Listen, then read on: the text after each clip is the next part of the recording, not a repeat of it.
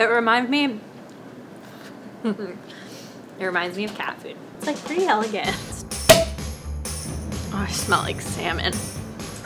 Hi, I'm Becca from the Good Housekeeping Food Team. We're in the Innovation Kitchen cooking recipes from the past. We're diving deep into the Good Housekeeping archives in the hopes of uncovering some hidden treasures. I kind of love this. I'm gonna recreate them to the best of my ability and then have a taste test to see how they stack up against our modern palate. All from our handy dandy toaster time machine. You put in a piece of toast, out comes a vintage recipe from our Good Housekeeping archives. Let's see where we're going today, or should I say, when.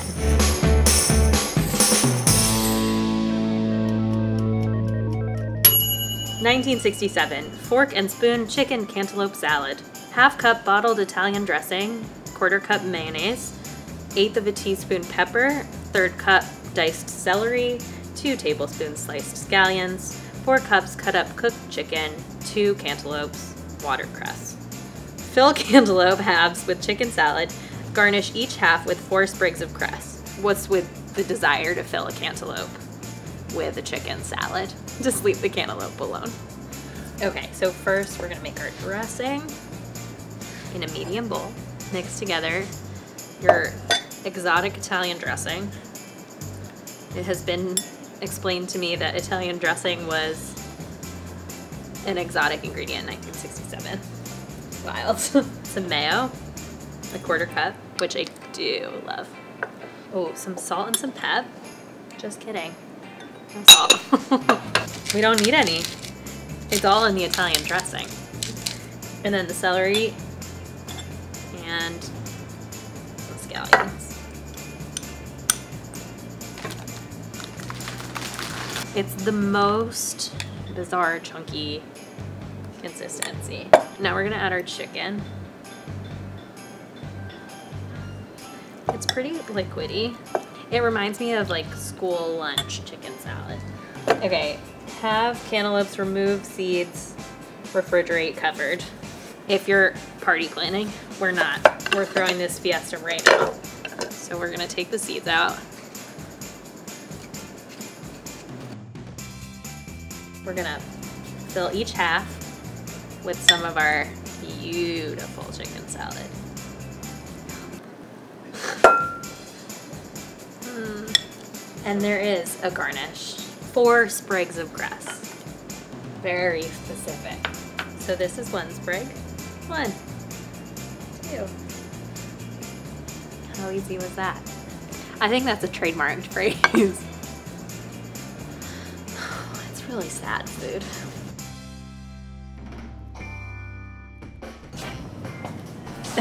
Whoa. Mmm. Filling a cantaloupe with chicken salad. Um, it's called spoon and fork chicken salad in a cantaloupe. I I, just think so happen to have both of those. Feels like there's something happening with that chicken salad. it's got Italian dressing in it. Oh, right on. Splash of Italian inside a cantaloupe. It isn't. I admittedly, I can't even cheers you to this situation because You're not looking forward to this. I just. I can't say I am. Okay.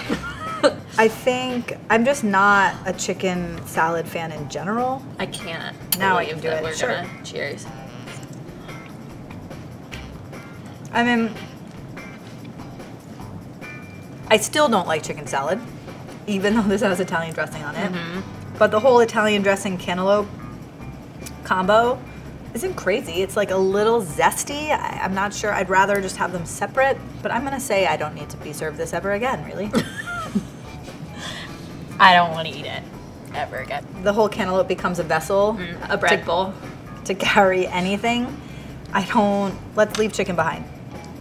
What else? What else does it carry? This was 1967. I'm sure it was carrying a lot of stuff. Maybe it was carrying Jello. Oh, Jello. Maybe a little sorbet, palate cleanser. Um, I'm gonna say the chicken salad, stuffed cantaloupe should remain in the archives and never ever surface again. Goodbye. Ever.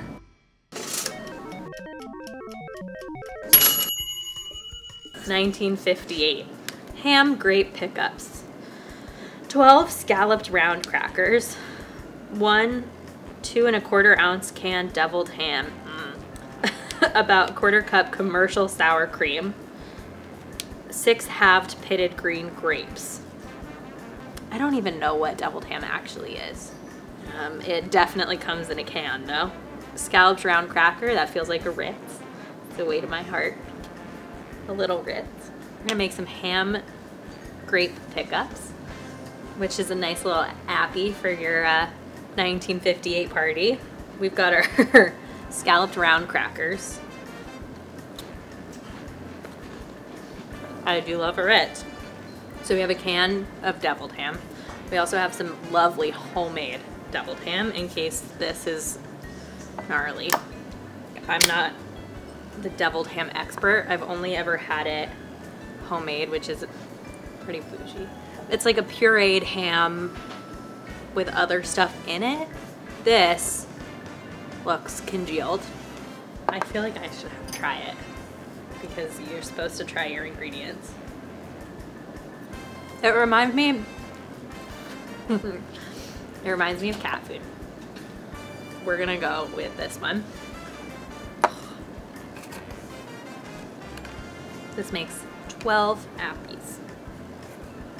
And then we're gonna need six grapes. Why would you slice a grape in half? This is so strange. And I'm gonna spread each cracker with some deviled ham just before serving, because I'm getting ready for my party.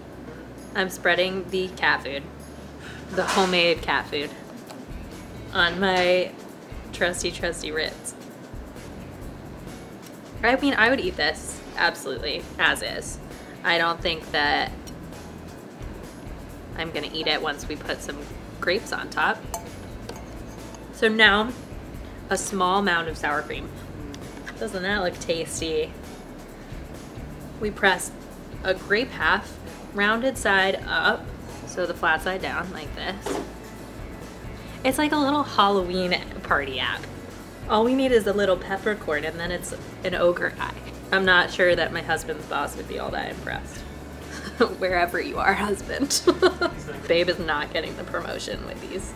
Okay, so now we have our lovely tiered cake stand. And I'm just gonna daintily place my ham grape pickups. Perfect for the party. I regret putting so much sour cream on them now.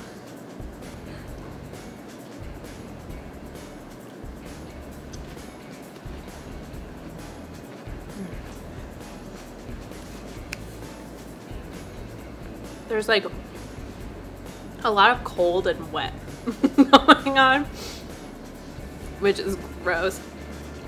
I mean, grapes with savory things like a cheese plate makes sense. I'm not offended. I'm not appalled.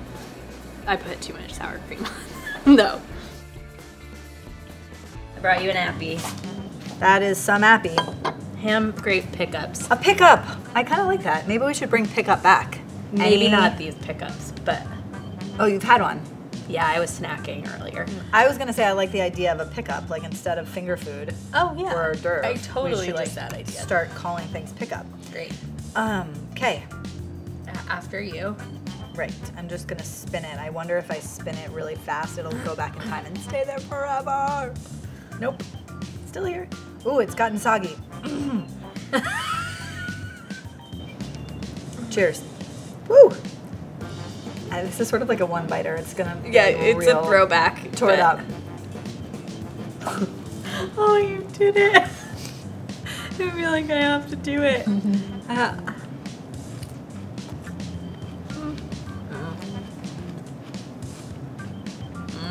The idea of it is actually pretty good. It's good. Whatever she says, don't listen. This is good. It's deviled ham, sour cream. If it was mayo, I might feel differently, but that's just my issue. Um, this is good. If you do want to try this at home, and you're going to spend the time to top your buttery Ritz crackers with deviled ham and sour cream, and you have Jai Gunda grapes like these, I would slice them. I would slice them into rings. Then you'd have like two little rings. It might be a little That's pretty. cute. and I'm making these for my husband's boss who's coming over for a promotion. I think he'd pick these up. He sure would pick them up. Might put them back down again. I don't think he would. Not once he gets past visually. Mm-hmm. And if you slice the grapes, I think you're good. He'll get the promotion. Great. Okay. You know my favorite. Let me know what your favorite was in the comments below. Subscribe to GH and comment below to let us know where you think we should go next time with that toaster time machine.